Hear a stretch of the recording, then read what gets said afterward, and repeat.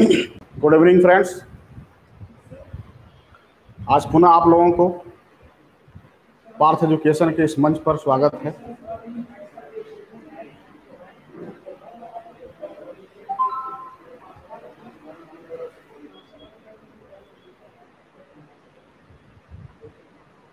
पहले तो सब लोगों को ये सूचना दे दूँ, कल क्लास आपकी ऑफ़ थी, हमने क्लास नहीं लिया था। व्यक्तिगत कारणों से आज क्लास आपकी दो घंटे की चलेगी, जिसमें फ़र्स्ट वन आवर्स की क्लास टॉपिक आपका लिखिया, लिखा हुआ है महासागरी निक्षेप, ओशियन डिपोजिट। और दूसरे वन आवर्स की क्लास में हम लोग क्वेश्चन पेपर पर चर्चा करेंगे।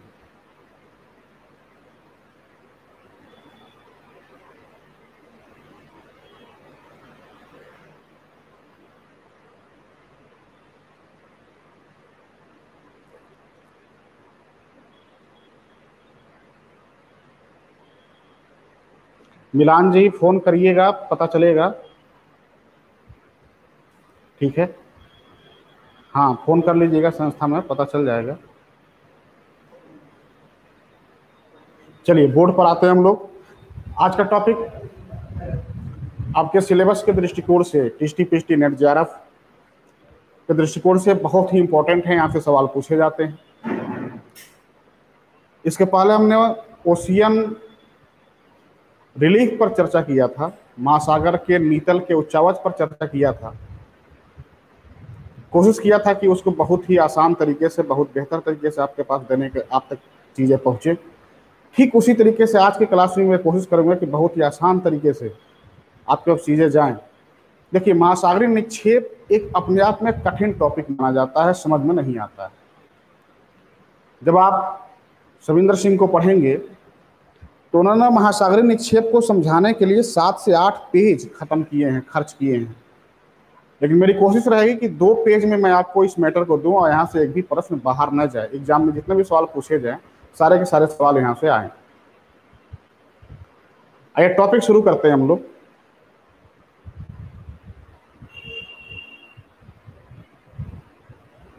देखिए, जो भी इंक्वायरी आपको करनी है फ़ीस के संबंध में और सारी चीज़ें पार्थ एजुकेशन के फ़ोन पर जा कर के संपर्क करिए, ठीक है? वहाँ पर आपको सारी इंक्वायरी आराम से दी जाएगी, ठीक है? और फ़ीस जमा करने के बाद 24 घंटे के अंदर आपको टैग कर दिया जाएगा, जोड़ दिया जाएगा। तो उसके लिए परेशान नहीं होना है, ठीक? फेथ करने की ज़रूरत है, ठीक? जो आज के ज़माने में बहुत कम बचा है।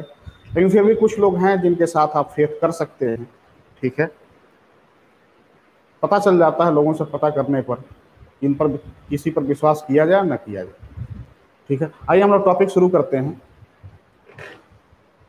देखिए ओशियन महासागरीय निक्षेप ओशियम डिपॉजिट जो हैं, इनको, इनका जो वर्गीकरण है, यह मुख्यतः तीन भागों में किया जाता है। पहला जो है, इसे कहते हैं भूमिगत निक्षेप।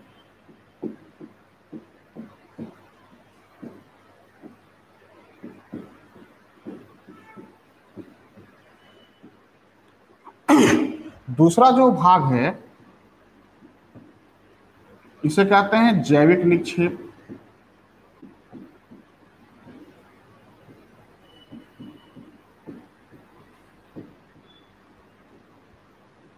और इसका जो तीसरा वर्गीकरण है, इसे कहते हैं ज्वालामुखी निक्षेप।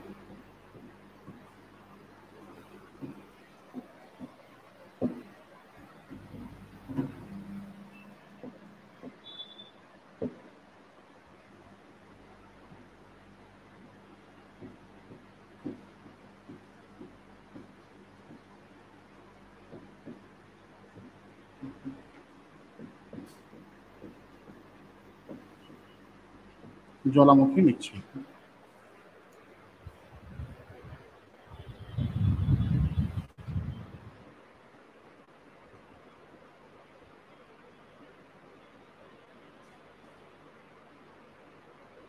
कल क्लास नहीं हुआ था, आज क्लास ले रहा हूँ, आज दो घंटे क्लास चलेगा आपका। देखिए, स्रोत के आधार पर जो भी निक्षेप हम लोग इनका जो वर्गीकरण किया गया, वो स्रोत के आधार पर किया गया। भूमिगत निक्षेप का मतलब ये हुआ कि इनको इंग्लिश में टेरिजिनस डिपॉजिट कहा जाता है।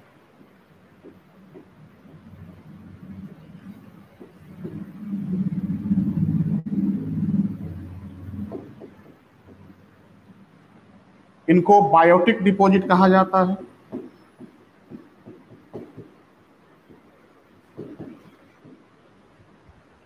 और इसको बल्केनिक डिपॉजिट कहा जाता है।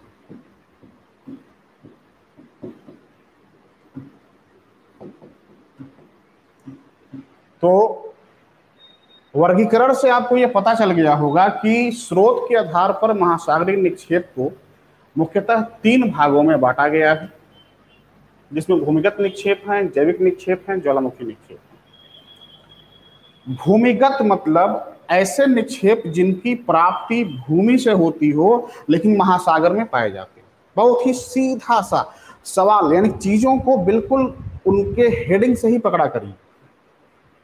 भूमिगत निक्षेप का मतलब यह हुआ कि जो भूमि से उत्पन्न होकर के आए हों, और महासागर में पाए जा रहे हैं। तो भूमि से उत्पन्न होकर के आए, आने का मतलब ये हुआ कि कहीं ना कहीं, पहले टॉपिक से रिलेट करिएगा। कि महाद्वीपी मग्न तट पाए जाएँगे। फिगर मैं बना रहा हूँ पहले दिन का जो हमने बनाया था आपको।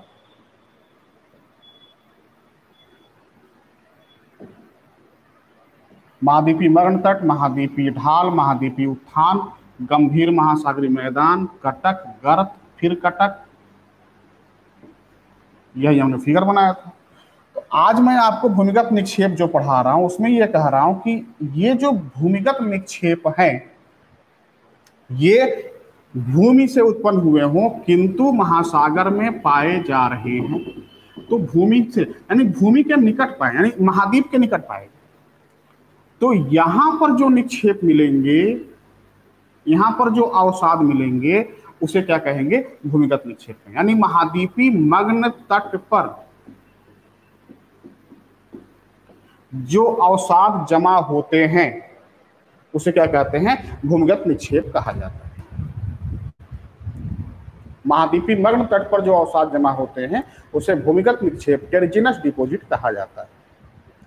अब महाद्वीपीय मग्न तट पर जो अवसाद हैं, वह नदियाँ भी लेकर के आएँगी, पवन भी लेकर के आएँगे, और ध्रुवीय क्षेत्रों में ग्लेशियर हिमनत भी लेकर के आएँगे। ठीक है?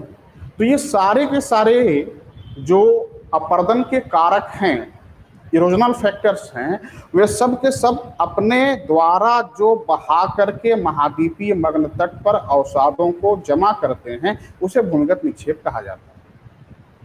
साथ ही साथ महासागरीय तरंगे भी, महासागर के द्वारा लाए गए ज्वार भाटाओं के द्वारा भी जो अवसाद महासागर के मग्न तट पर निक्षेपित कर दिए जाते हैं, वे भी भूमिगत निक्षेप के अंतर्गत आएँगे। तो दोनों का योगदान हो गया।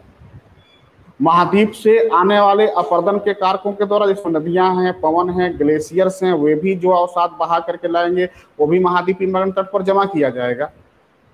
और महासागरी तरंगे, ज्वार आदि के द्वारा भी या जलधाराओं के द्वारा भी जो भी अवसाद बहा करके महाद्वीपीय मग्न तट पर कॉन्टिनेंटल सेल्फ्स पर ला करके छोड़ दिया जाएगा।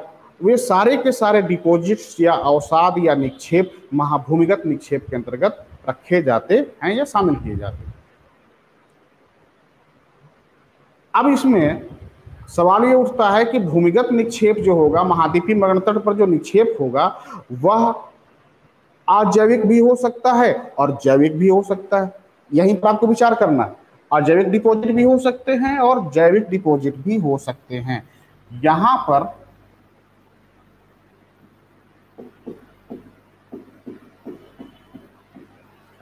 अजैविक निक्षेप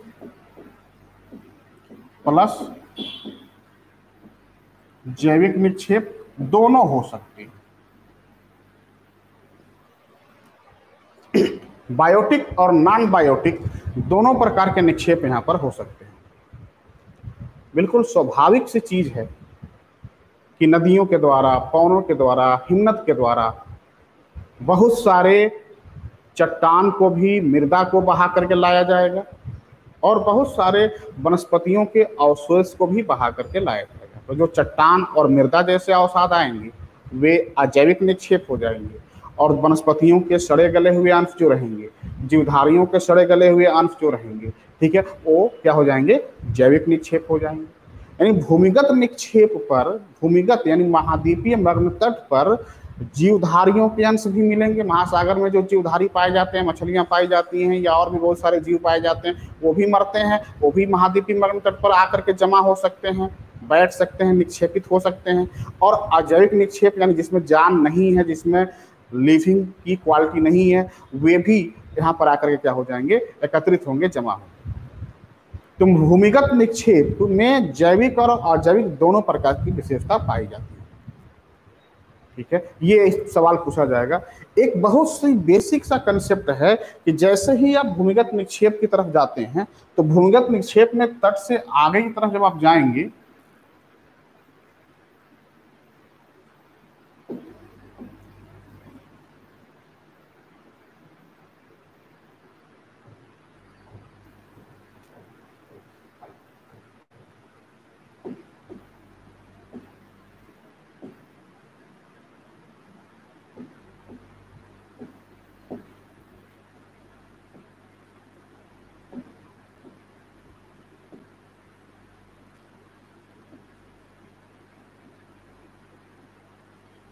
ये मग्न तट है।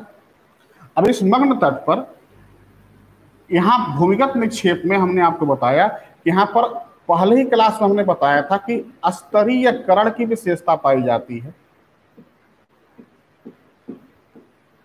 पहले क्लास में बता चुके हैं, इसके पहले, यानी कल के बाद जो इसके पहले वाली क्लास ओशियन, नीतल उच्चावच में, यहाँ पर स्तरीकरण की विशेषता पाई जाती है। हमने कहा था कि यहाँ पर ग्रेडिंग की विशेषता पाई जाती है। यहाँ पर जो अवसाद मिलते हैं, उसमें ग्रेडिंग की विशेषता पाई जाती है। हमने वहाँ पर कहा था ग्रेडिंग महासागर के नीतल के उच्चावच को पढ़ाते समय मैंने आपसे कहा था कि महाद्वीपी मग्न तट पर मिलने वाले अवसादों में स्तरीकरण की विशेषता पाई जाती है। आज मैं इसको समझा रहा हूँ कि उस स्तरीकरण की विशेषता के साथ होता क्या है? ठीक है? भूमिगत निक्षेप या स्तरीकरण की विशेषता जब यहाँ पर मिलता है मतलब क्या हुआ कि सबसे बड़ा जो चट्टान का टुकड़ा है, सबसे पहले छूटेगा या बैठेगा या निक्षेपित होगा। उसके बाद इससे छोटा, उससे बाद इससे छोटा, फिर छोटा फिर छोटा और छोटा और फिर इस तरीके से कणों का व्यास क्या होता जाएगा? कम होता जाएगा।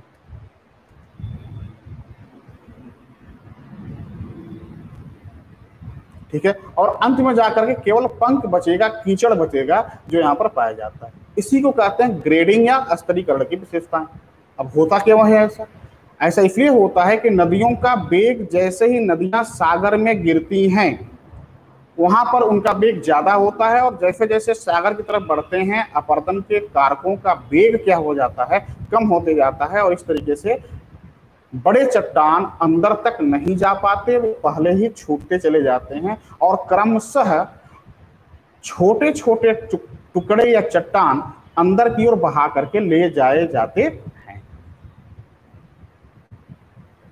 ठीक है? यहाँ तक सब लोगों को समझ में आ गया होगा कि ग्रेडिंग की विशेषता कैसे पाई जाती है।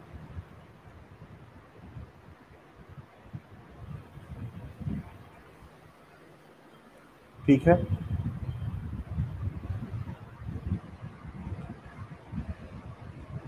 लेफ़्ट साइड में दिखाई नहीं दे रहा। अच्छा ठीक है ठीक है। ठीक है, थोड़ा देखिए जो लेफ़्ट साइड में दिखाई नहीं दे रहा। ठीक है तो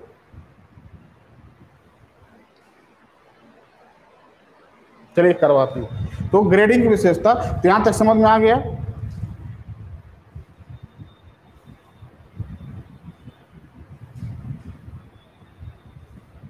अभी हम बता रहे हैं, टेंशन ना लीजिए। करिश्मा चौधरी जी अभी मैं बता रहा हूँ कहाँ क्या होता है।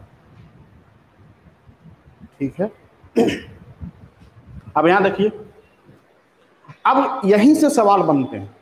जो हमने सवाल पूछा आपसे कि ग्रेडिंग की जो विशेषता पाई जाती है, यहीं से आयोग के द्वारा सवाल पूछा जाता है कि ग्रेडिंग के आधार पर, स्तरीकरण के आधार पर जो भी क्रम है, चट्टानों का या कड़ों का, वो आपको याद करना है।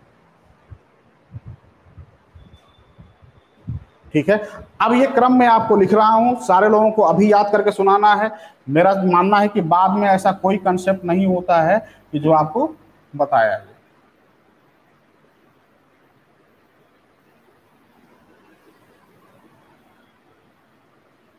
चलिए, अब जो भूमिगत निक्षेप में स्तरीकरण की विशेषता पाई जाती है, वो मैं आपको बताने जा रहा हूँ।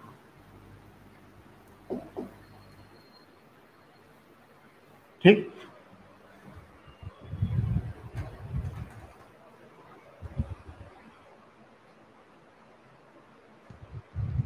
बोर्ड देखिएगा। आपको जो क्रम याद रखना है, वो है B C P G G B C P G G boulder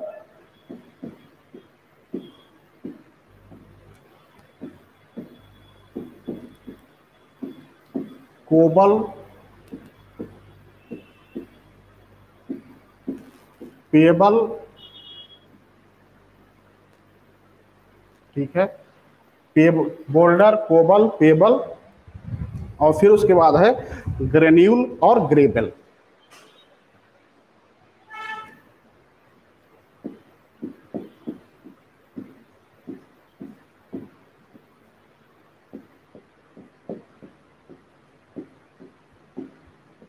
gravel.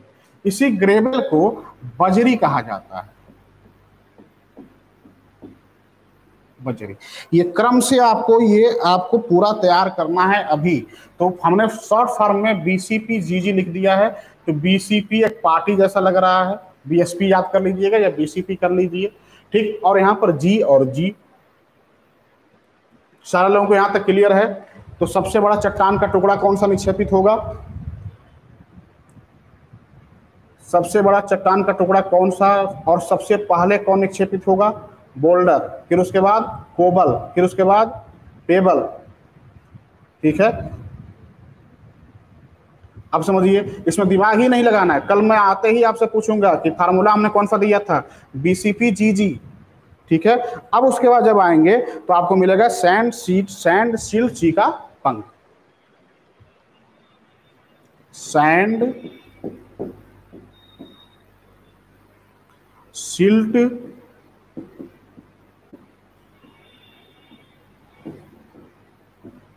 Chica और पंख ये आपके क्रम है। सैंड सिल्ट चीका पंख ठीक है? चीका कोई क्ले कहते हैं। तो फिर से सारी चीज़ें ऊपर की कठिन है, इसलिए हमने दे दिया। तो चार मतलब तीन, दो भागों में बांट करके इसको याद करना है। सैंड मतलब बालू। और बालू से थोड़ा सा बड़ा होता है बजरी। बजरी ऐसे समझिए कि मिश्री का दाना अगर आप लोगों ने देखा हो तो मिश्री के दाने के बराबर उसका आकार होगा। मिश्री के बराबर। या राम दाना जो होता है, जो पूजा पाठ में हम लोग चढ़ाते हैं, ठीक है? तो रामदाने के आकार के बराबर। और उससे छोटा जब कड़ पर चलते हैं तो बालू के कम से कम छः सात क्वालिटियाँ आ जाती हैं जिसमें मोटी बालू, महीन बालू, मध्यम बालू, ठीक है, वो सब बालू के कड़ ठीक है? तो उसमें जो है बोल्ड अपक्रम से बी सी ध्यान रखिएगा B C P B C P याद करना है? B C P G G sand silt Chica, पंख। तो ऊपर के पहले अलग अलग याद करिए और सैंड सील्ड चीका पंख नीचे। तो हमारे साथ सारे लोग बोलिए, आँख बंद करिए मोबाइल पर ही, ठीक है? और ऊपर से बोलिए केवल formula B C P G G बोले, फिर से बोलिए बी सी पी जी जी और फिर नीचे चलते हैं सैंड सिल्ड चीका पंख। ये क्रम आपसे पूछा जाता है। ये कौन सा निक्षेप है? भूमिगत निक्षेप है। महाद्वीपीय मंत्र पर पाए जाएँगे, ठीक है? और यहीं पर पंख मर्रे ने पंख को तीन भागों में विभाजित किया था। मर्रे ने पंख को तीन भागों में विभाजित किया था। लाल पंख,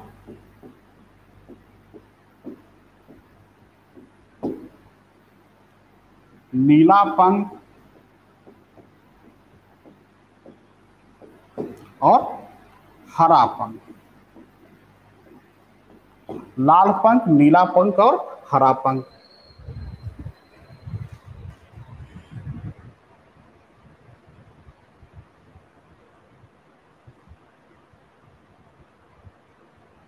ठीक है? ये किसके, किसका विभाजन है?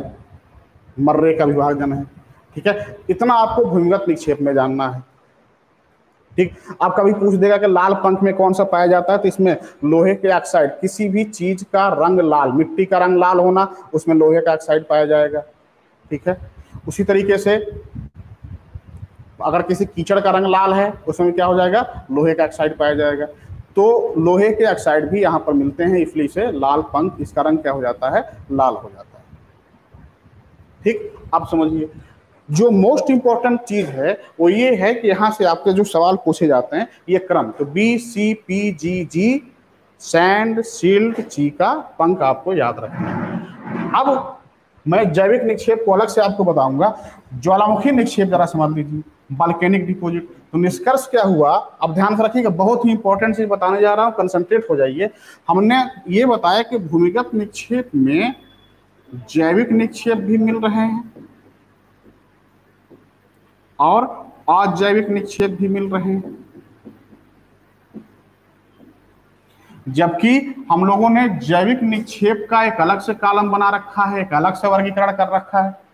मतलब ये हुआ कि जैविक निक्षेप, भूमिगत निक्षेप भी हो सकते हैं। या ऐसे समझिए कि भूमिगत निक्षेप, जैविक निक्षेप भी हो सकते हैं।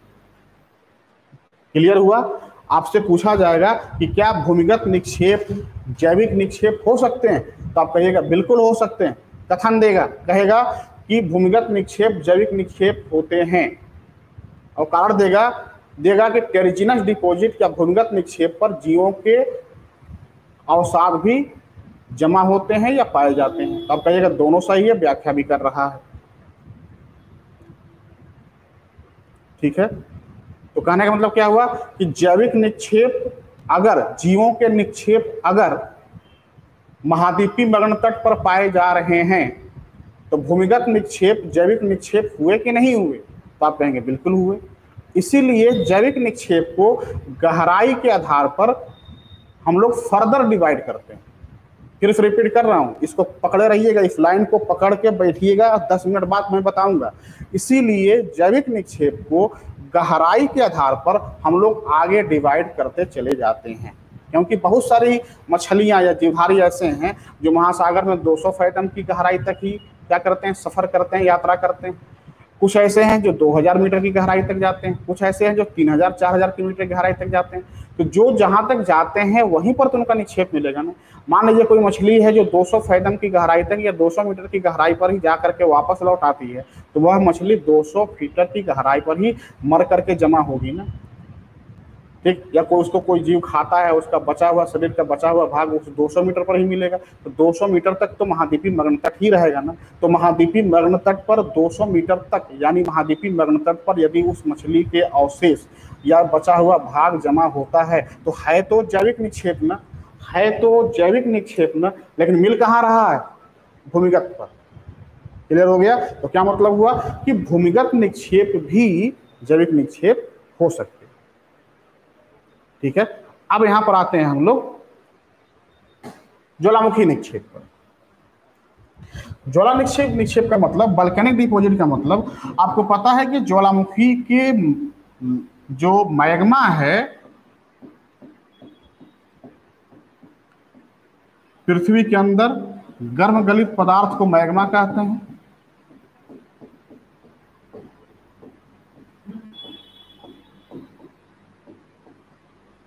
ठीक है? जब यही मैग्मा सतह पर प्रकट होता है तो उसे लावा कहा जाता है। अब इस लावा में ऑक्सीजन, सिलिकॉन, एल्युमिनियम, लोहा जैसे बहुत सारे तत्व पाए जाते हैं। ठीक है? अब जब यह लोहा, आयरन इस ऑक्सीजन से या जल के ऑक्सीजन से जल के O2 से क्रिया करता है तो फेरिक ऑक्साइड लोहे का ऑक्साइड का निर्माण होता है।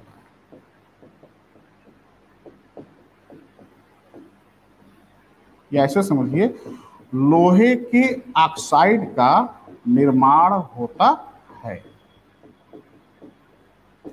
और इसी को विज्ञान की भाषा में जंग लगना कहा जाता है।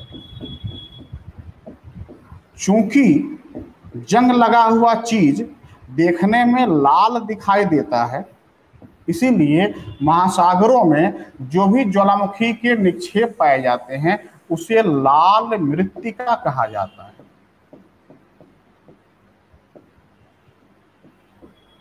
इसीलिए जो भी निक्षेप पाए जाते हैं, उसे क्या कहते हैं? लाल मृतिका कहा जाता है। क्योंकि उसमें लोहा का ऑक्साइड मिला होता है आयरन का ऑक्साइड मिला होता है। समझ में आ गया सब लोगों को?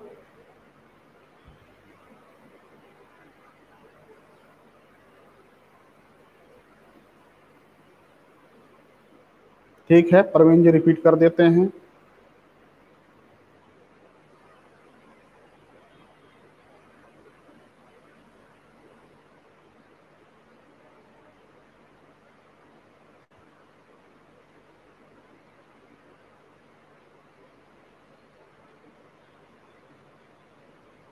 चलिए, जो लोग नहीं समझे फिर फिर रिपीट कर, देखिए, हमने क्या कहा कि ज्वालामुखी के लावा में जो ज्वालामुखी उद्गार होता है, महासागरों के पेदी पर, महासागर के नीतल पर बहुत सारे ज्वालामुखियाँ पाई जाती हैं।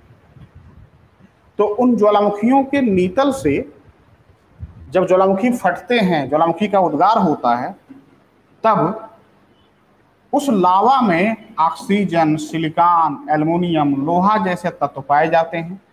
जब यह लोहा ऑक्सीजन से, जल में उपस्थित ऑक्सीजन से O2 से अभिक्रिया करता है तो फेरिक ऑक्साइड या लोहे के ऑक्साइड का निर्माण करता है।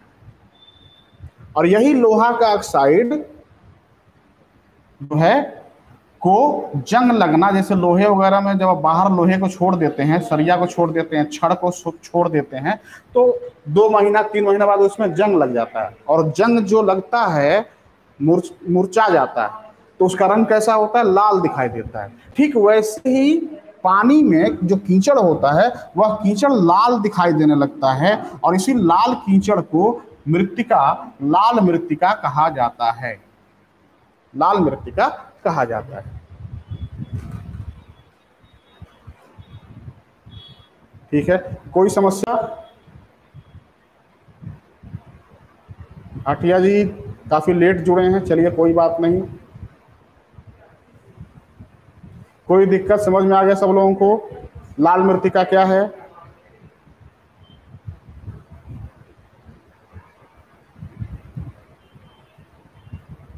चलिए, अच्छी बात है। अब बोर्ड पर आइए। अब आपसे तो ज्वालामुखी, अब जो कंक्लूजन है, वो समझिएगा। कंक्लूजन ये है कि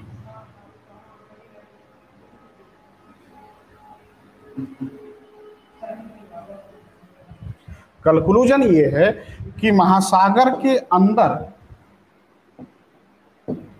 महासागर के अंदर जो निक्षेप, ज्वालामुखी निक्षेप पाए जाते हैं उसे क्या कहा जाता है? लाल मृतिका कहा जाता है। अब आपसे सवाल पूछेगा कि किस महासागर में लाल मृतिका की सर्वाधिक मात्रा पाई जाती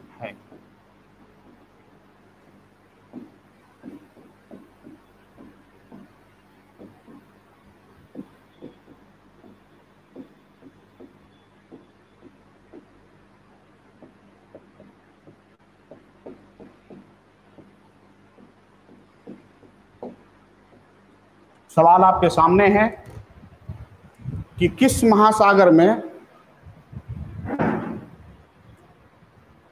लाल मृतिका की सर्वाधिक मात्रा पाई जाती है?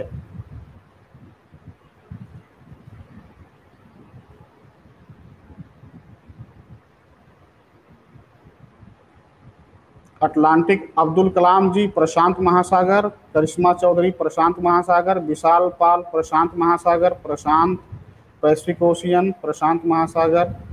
बहुत अच्छी बात है। ठीक है? बिल्कुल सही है उत्तर। प्रशांत महासागर में लाल मृतिका की मात्रा सबसे ज़्यादा है। यह 75 परसेंट भाग पर विस्तृत है। प्रशांत महासागर के कुल क्षेत्रफल के 75 प्रतिशत भाग पर लाल मृतिका पाई जाती है। कौन सा महासागर है? प्रशांत महासागर।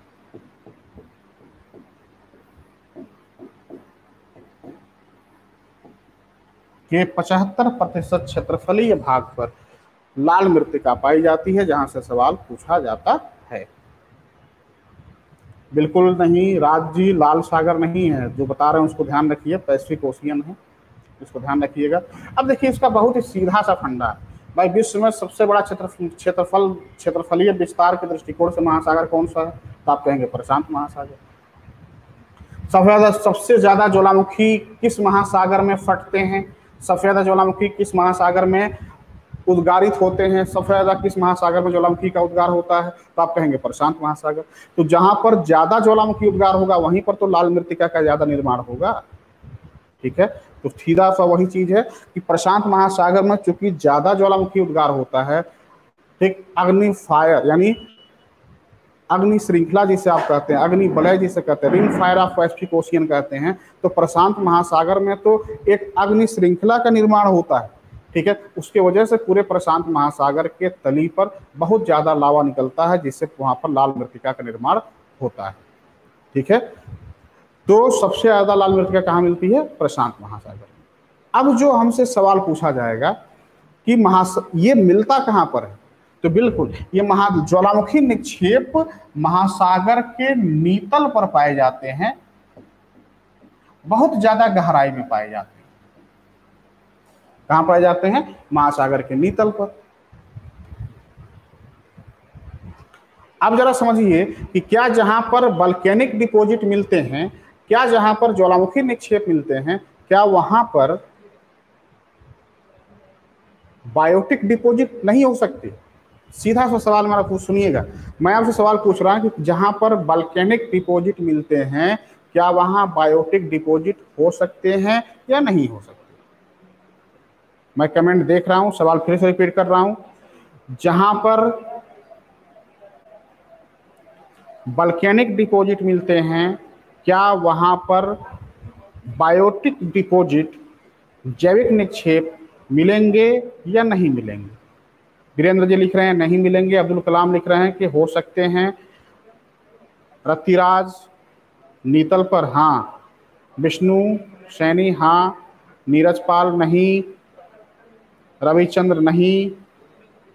रंजना अग्रहरी, हो सकते हैं, हो सकते हैं। मिलेंगे मिलेंगे मिलेंगे, नहीं। कौन लिखा? नेपाल सिंह नहीं। चलिए।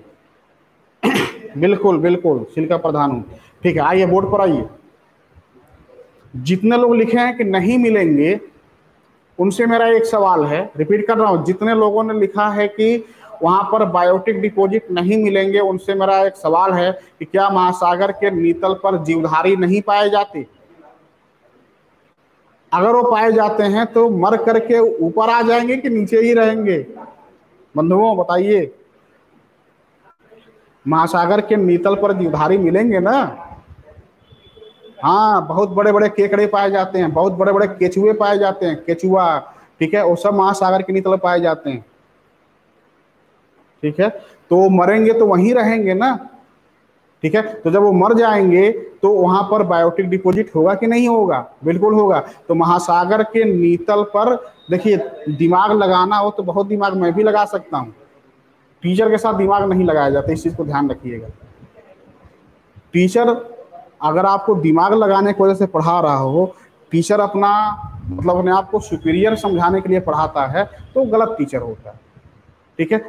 टीचर के अंदर ये भावना होना चाहिए कि वह क्या चीज़ बताए कि वो अधिक से अधिक आपका कल्याण हो और सवाल वहाँ से पूछा जाए? तो टीचर जो है, अपनी तारीफ़ नहीं करना चाहता, वो ये आपका दिमाग आकर्षित करना चाहता। किताबों में तो सब कुछ दिया हुआ है, ठीक है? आप वहाँ भी पढ़ सकते हैं।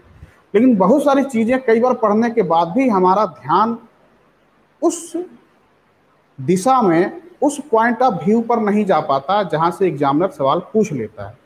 तो हम लोगों का काम वही है कि आपको कई तरह से उस पर विचार करवाया जाए और वहाँ से सवाल बने तो आपको समझाया जाए।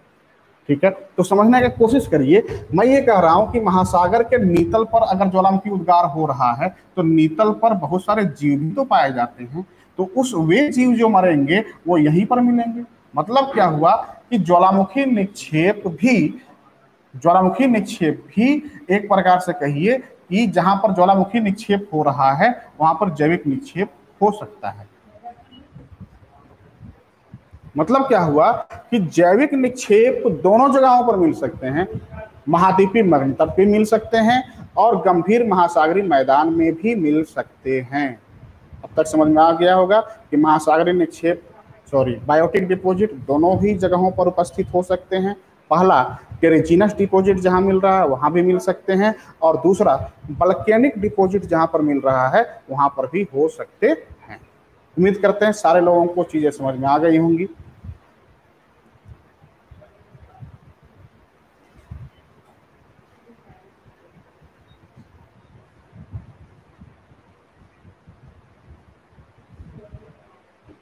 चलिए। अब हम लोग आते हैं। आप लोगों ने ध्यान दिया होगा कि मैं बीच वाले को छोड़ते जा रहा इसको हम लोगों को अलग से पढ़ना है। अब चलिए हम आपको बायोटिक डिपोजिट को अलग से पढ़ा करके बताते हैं।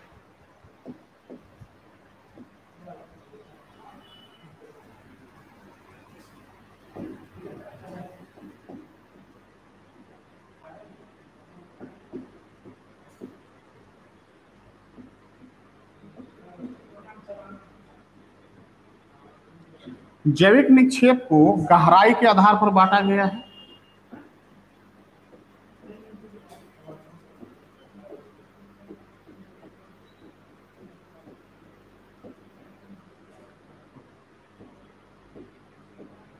इनका जो वर्गीकरण किया गया है, वह गहराई के आधार पर किया गया है।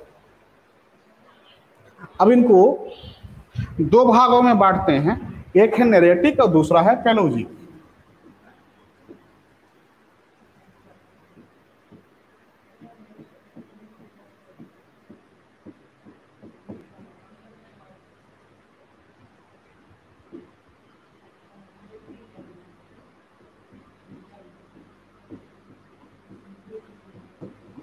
नेरोटिक और पेलोजिक दो वर्गीकरण है नेरेटिक डिपोजिट और पेलोजिक डिपोजिट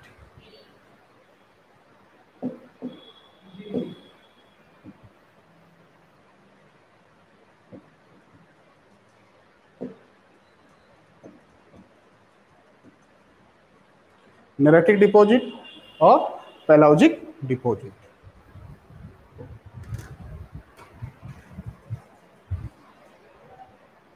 ठीक है? अब समझिएगा, गहराई के आधार पर वर्गीकरण है। नरेटिक डिपॉजिट का मतलब ये हो गया कि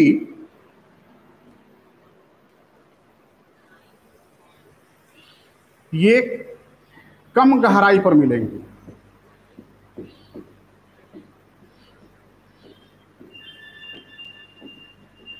कम गहराई पर मिलेंगे। और पेलोजिक डिपॉजिट का मतलब हो गया कि ये थोड़ा अधिक गहराई पर पाए जाते हैं।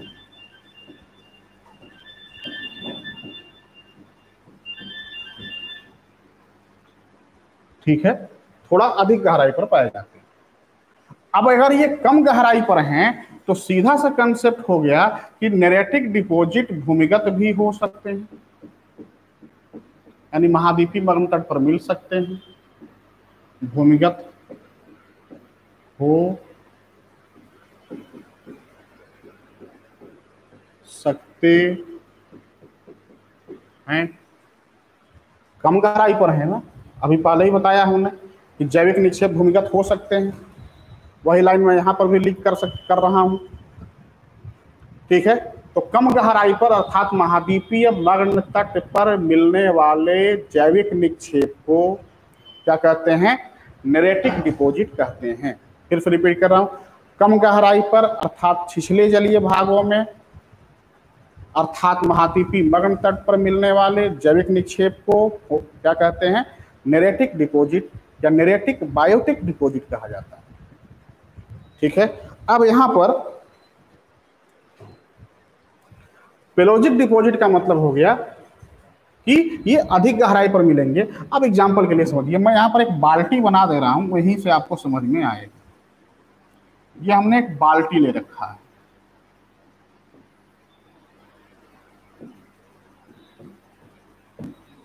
बाल्टी के एक बार महासागर मान लीजिए आप लोग। अब यहाँ पर जो मिलेगा, ये नेरेटिक हो जाएगा। ठीक है?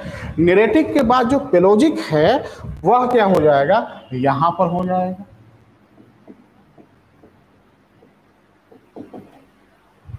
इसकी गहराई थोड़ा ज़्यादा हो जाएगी। अब एक वर्गीकरण हम लोग और करते हैं।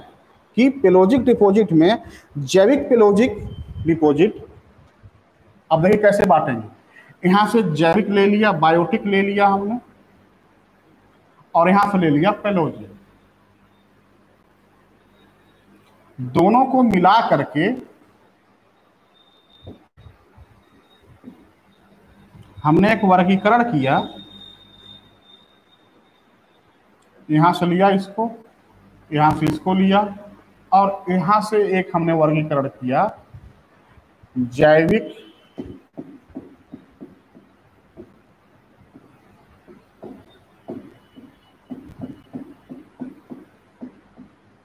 पेलोजिक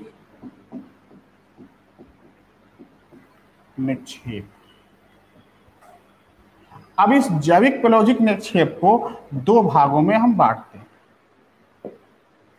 एक है कैलकेरियस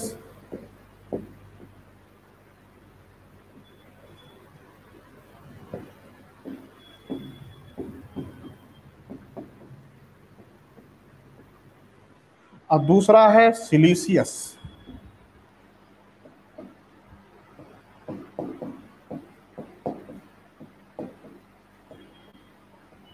सिलीसियस। बहुत ही आसान है।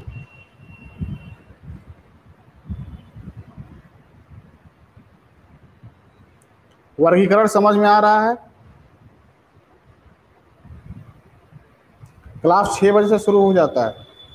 वर्गीकरण समझ में आ रहा है। हमने जैविक निक्षेप से जैविक चुरा लिया और पेलोजिक निक्षेप से पेलोजिक चुरा लिया और नामकरण कर दिया जैविक पेलोजिक निक्षेप। ठीक है? समझ में आ रहा वर्गीकरण? चलिए, अच्छी बात है। अब यहाँ पर कैलकेरियस का मतलब हो गया चूना प्रधान उज। चूना प्रधान उज और सिलिसियस का मतलब हो गया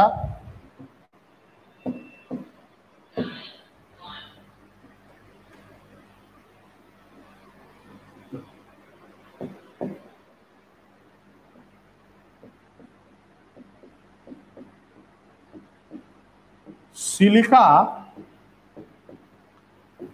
प्रधान उज। चूना प्रधान उज और सिलिका प्रधान उज।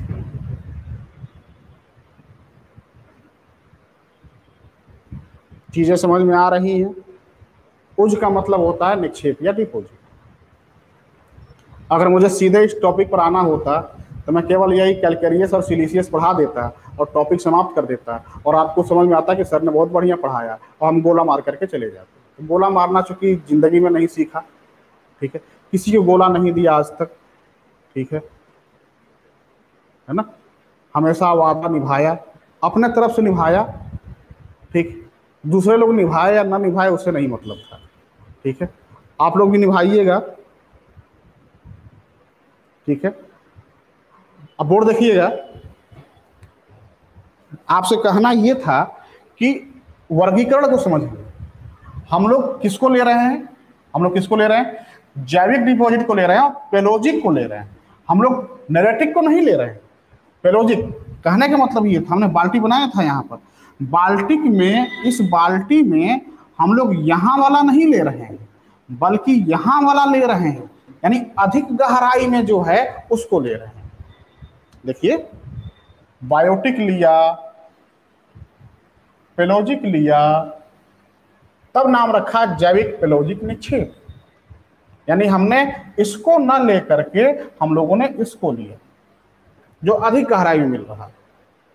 अब फिर गहराई के दृष्टिकोण से, चूना प्रधान उज चूना प्रधान उज कुछ कम गहराई में मिलेंगे और सिलिसियस जो उज होगा, वह कुछ अधिक गहराई में चला जाएगा। यानी, अब देखिए ये खाना बचा है, इसमें यहाँ तक यहाँ तो चूना प्रधान मिल जाएगा और यहाँ जो है सिलिका वाला मिलेगा। देख रहे हैं? यानी चूना ऊपर रह जाएगा और सिलिका क्या हो जाएगा? नीचे चला जाएगा। तो चूना प्रधान उज दोनों की अगर तुलना करें, इन दोनों की तुलना करें तो इन दोनों में कम गहराई पर यह होगा। इन दोनों में कम गहराई पर यह होगा। और इसमें ये अधिक गहराई पर चला जाएगा। ठीक है? इसीलिए हमने ये वर्गीकरण किया है ताकि आपको चीज़ें थोड़ा सा समझ में आ जाए। ठीक है? अब यहाँ समझिएगा। अब जो कंसेप्ट यहाँ पर जानना है, वो ये जानना है कि क्यों ऐसा रखा गया। तो चूना प्रधान उज में यहाँ पर चूना की प्रधानता होती है। चूना की प्रधानता होती है।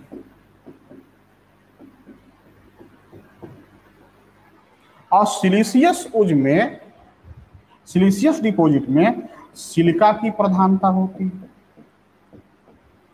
सिलिका अधिक होता है। मतलब क्या हो गया? कि जो भी यहाँ जीव मिलेंगे, कैलकेरियस में जो भी जीव मिलेंगे उसमें चूना, उनके जीवन यापन के लिए चूना ज़्यादा ज़रूरी होगा, चूना उनका भोजन होगा। और सिलिसियस में जो जीव मिलेंगे, सिलिका प्रधान उज में जो जीव मिलेंगे, उनके जीवन का आधार चूना ना होकर के सिलिका होगा। यानी बालू का एक छोटे छोटे कड़ों का आकार है सिल्का। यानी उनका जो जीवन का आधार होगा, सिल्का होगा। यानी वो मिट्टी खाते होंगे, सिल्का खाते होंगे, ठीक है? तो इस तरीके से दोनों में अंतर ये है कि इन जीवों का आधार चूना है और यहाँ पर मिलने वाले जीवों का आधार क्या है? सिल्का है। तो स्वाभाविक सा बात है कि चूना अधिक गहराई में जाकर घुल जाएगा, अधिक गहराई में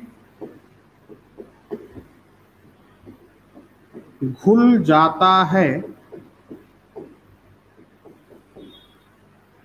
इसलिए इस पर आधारित जीव बहुत गहराई तक नहीं पाए जाएँगे। चूना अधिक गहराई में मिलेगा ही नहीं। तो चूना जब अधिक गहराई में नहीं मिलेगा तो कैलकेरियस जो जीव हैं, जो चूना प्रधान उज हैं, वह ज़्यादा गहराई में नहीं मिलेंगे, क्योंकि चूना वहाँ तक नहीं मिल रहा है।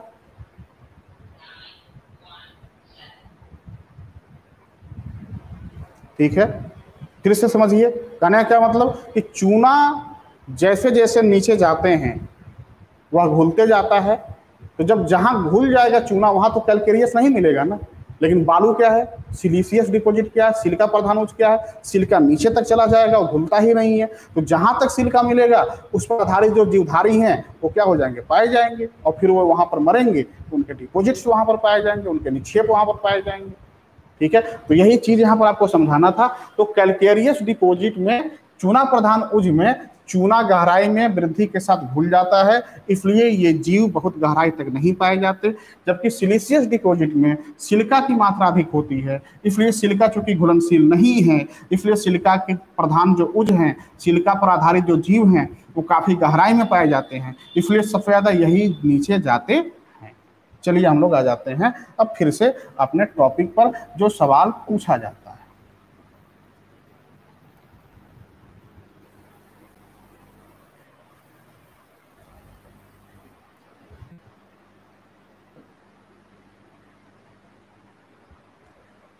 अब इनका जो वर्गीकरण किया गया, जो आपके लिए बहुत ही इंपॉर्टेंट है, खूब पूछा जाता है, वह है एकदम गांठ बाँध लीजिएगा, याद करवा दे रहा हूँ यहाँ पर टी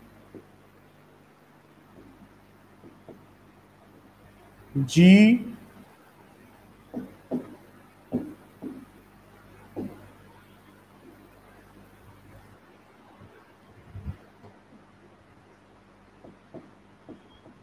डी आर। परत यह फार्मूला याद कर लीजिए। टी जी डी आर याद रखना है T G D R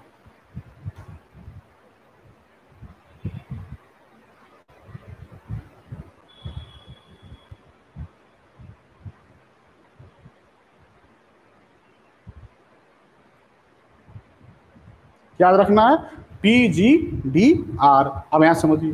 T का मतलब हो गया टी का मतलब हो गया तेरा पोडा उज।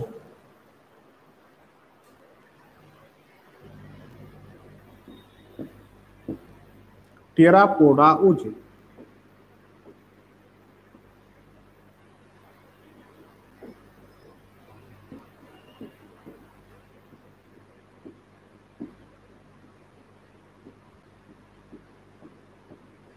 जी का मतलब हो गया ग्लोब जरीना उज।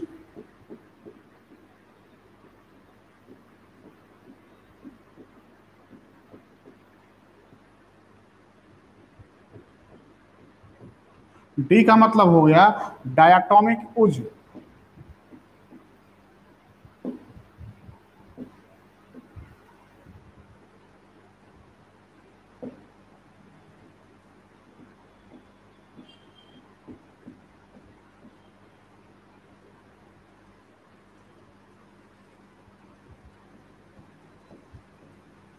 और आर का मतलब हो गया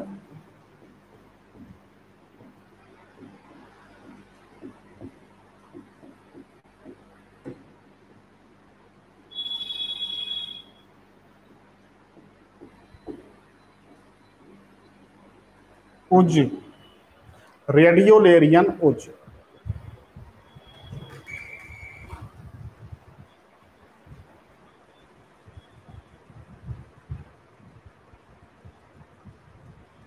तो क्या याद रखना है? टी जी डी आर एकदम सेट फार्मूला है।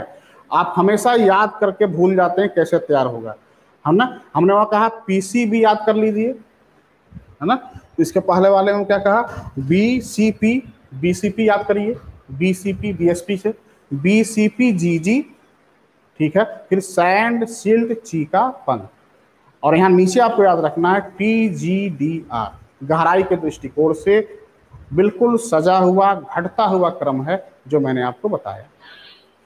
इन दोनों में, इन दोनों में ये कम गहराई पर मिलेगा ये अधिक गहराई पर मिलेगा और इसमें ये कम गहराई पर मिलेगा और ये अधिक गहराई पर मिलेगा। ठीक है? चूँकि ये कैलकेरियस उज हैं, सिलिका प्रधान, सॉरी, चूना प्रधान उज हैं, इसलिए इन दोनों में चूना की मात्रा अधिक होगी। इसीलिए टेरापोडा और ग्लोबजरीना, ये दोनों ही जीव सिलिसियस यानी डायटोमिक और रेडियोरियन से अधिक ऊंचाई पर पाए जाएँगे और ये दोनों अपेक्षाकृत ज़्यादा गहराई में पाया जाएँगे। ठीक है? समझ में आ गया होगा?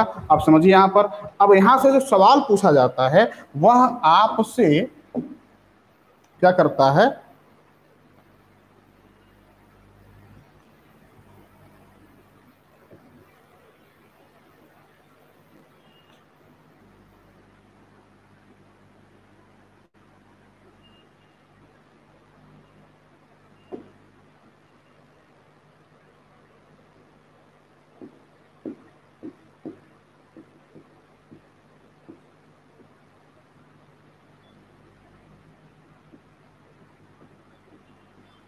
पूछता है कि यहाँ पर कौन कौन से जीवधारी पाए जाते हैं। ये गहराई के आधार पर सजाए हैं भाई टी जी डी यार ध्यान रखिएगा। टी सबसे छिछला हो जाएगा यहाँ पर जी उससे गहरा, डी उससे गहरा, आर सबसे गहरा में पाया जाएगा। ठीक है? अब यहाँ पर जो जीव पाए जाते हैं, वो जीव आपसे पूछे जाते हैं। मैं आपको लिख दे रहा हूँ जीव।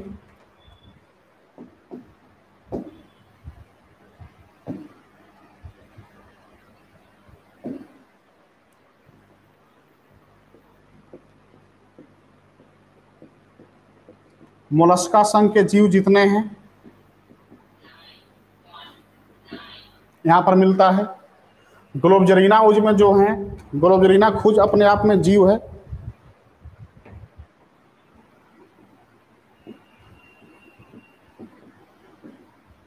यह स्वयं एक जीव है। डायटोमिक उज जो है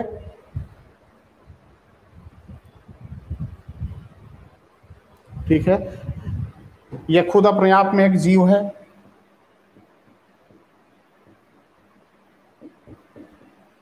और रेडियल एरियन में प्रोटोजोआ, फोरा, मिनीफेरा,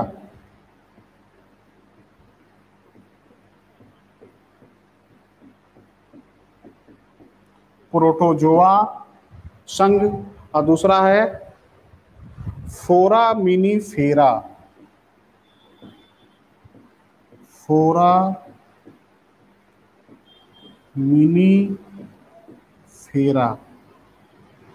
के जीव और साथ ही साथ खुद रेडियोलेरियन अपने आप में एक जीव है।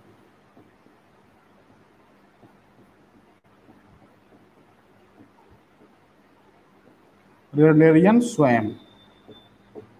इतने जीव यहाँ पर पाए जाते हैं। ठीक है? तो यहाँ पर अब समझिए, जो लोग भी हमसे पूछ रहे हैं, अब आपको करना क्या है? देखिए, मेरा काम था आपको एकदम बिल्कुल सटीक और कनेक्ट उत्तर। यहाँ तो इतना भी कोई दे नहीं पाता है कि कौन सा जीव कितना आएगा। और यहाँ से एग्ज़ाम में सवाल पूछा जाता है टेस्टिंग में तो खूब पूछा जाता है। चूँकि मेरा साइंस बैकग्राउंड रहा है और बहुत ही बेहतर चूँकि हमने तैयारी कर रखा है, पहले अच्छा कम्पिटिटर रहा चुका हूँ, इसलिए मुझे पता चलता है कि कहाँ पर से क्या देना है। अब आपका काम क्या है कि आप लुसेंट निकालिएगा। लुसेंट निकाल करके जो भी परिचित जीव होंगे, आपके जीवन में जो भी परिचित होंगे, जिनका नाम आपने सुना होगा, मोलस्का संघ के नीचे उन जीवों का नाम लिख लीजिएगा। लुसेंट में दिया हुआ है। बाटनी बायोलॉजी वाले सेक्शन में जाएँगे, वहाँ मिल जाएगा। उसी तरीके से ग्लोबजरीना खुद अपने आप में जीव है तो यहाँ कुछ नहीं लिखना है डायटामिक में कुछ नहीं लिखना है। रेडियो लेरियन में जाकर के प्रोटोजोआ में जो भी आपके परिचित जीव हैं, जो आप नाम सुने हैं ठीक है? उन जीवों का नाम यहाँ लिख लीजिएगा। पोर, अब ये देखिए, ये पोरिंगोनीफेरा नहीं है। यही अंतर मुझे समझाना था आपको। कई बार बायोलॉजी के जो लोग होते हैं, वे समझते हैं कि यह पोरीमोनीफेरा है। नहीं पोरीमोनीफेरा नहीं है। ये है फोरामिनीफेरा है। ठीक है? ये थोड़ा सा समझने वाली बात है कि ये कौन सा जीव है? फोरा मिनीफेरा है। ठीक, उसमें जाकर देखिएगा, वहाँ पर जीव यहाँ पर मिल जाएँगे। और रेडिलोरियन स्वयं है। ठीक? विश्वास करिएगा, प्रोटोजोआ से और मोलस्का संघ से जीवों का नाम आपसे पूछा जा चुका है पीजीटी में और साथ ही साथ नेट में। इसीलिए ये टॉपिक बहुत ही इंपॉर्टेंट हो जाता है, ठीक है? तो आपको लुसेंट से उन जीवों का नाम जा करके लिख देना। मैं भी लिखा सकता हूँ। और जाऊँ, खोज करके लिख दूँ, काम हो जाएगा। लेकिन साथ, केवल टीचर के ही सहारे नहीं रहा जाता। कम से कम घर जाकर के लुसेंट खोलेंगे। इसी बहाने कुछ और भी जानकारी मिलेंगी, ठीक है? ये था आपका, क्या था? महासागर के अंदर जो निक्षेप पाए जाते हैं, उससे संबंधित एक बहुत ही बेहतर टॉपिक था। कोशिश थी कि आपको सारी की सारी चीज़ें, ठीक है? देखिए, लिख लो, कोमल जय लिख रहे हैं कि ऑक्टोपस स्क्वाड ट्राईपोर्ड में होते हैं, ठीक है? ये सारी चीज़ें। उज क्या है, सर? देखिए, प्रवेश जी, उज का मतलब होता है डिपोजिट तब से मैं दोनों नाम एक ही साथ ले रहा हूँ, ठीक है? उज का मतलब डिपॉजिट होता है। डिपॉजिट का मतलब निक्षेप होता है। निक्षेप का मतलब सागर के अंदर जो भी अवसाद होते हैं, जो जमा होते हैं, उसे डिपॉजिट या उज कहा जाता है। और कोई सवाल?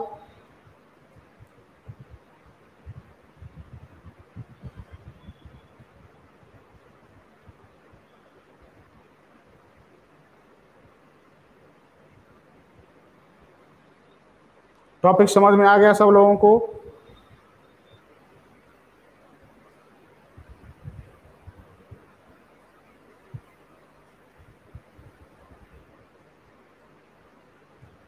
टॉपिक समझ में आ गया हो तो फिर नेक्स्ट क्लास शुरू किया जाए। टेरोपोड ओशन में मिलते हैं हाँ। ओशन मतलब ओशियन लिख रहे हैं हाँ मिलेंगे। बिल्कुल नेट पूरा पढ़ाऊँगा। ठीक है? क्या रिपीट कर देना है? ये जितने वर्गीकरण हैं, बस वहीं पर हमने बता दिया कि जैविक पेलोजिक डिपोजिट को चार भागों में बांटते हैं। मतलब दो भागों में बांटते हैं कैलकेरियस और सिलीसियस और कैलकेरियस को दो भागों में बांटते हैं सिलीसियस को दो भागों में बांटते हैं।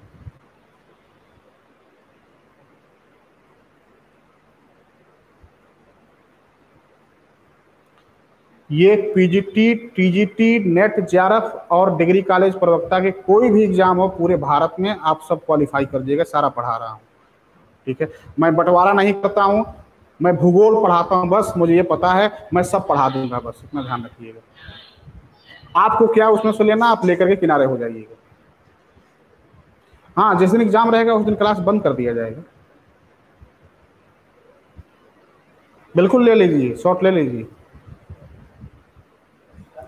ठीक है? चलिए, ठीक है, हम लोग फिर पाँच मिनट के बैक पाँच मिनट के ब्रेक के बाद फिर से मिलते हैं। सवा सात बजे तक हम लोग मिलेंगे क्वेश्चन पेपर डिस्कशन होगा, ठीक है? तब तक के लिए आप लोग रिफ्रेश हो जाइए, तुरंत मिलते हैं हम लोग।